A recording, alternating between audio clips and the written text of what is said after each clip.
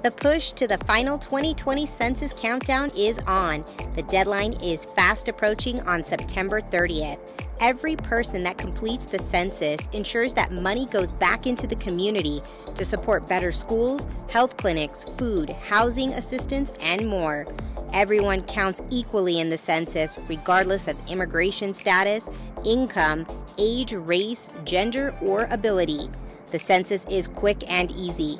It only takes 10 minutes to complete, and there is no citizenship question. If you haven't responded yet, there's still time. Visit my2020census.gov. Call 1 844 330 2020 or text Respond Now to 313131. Get counted today.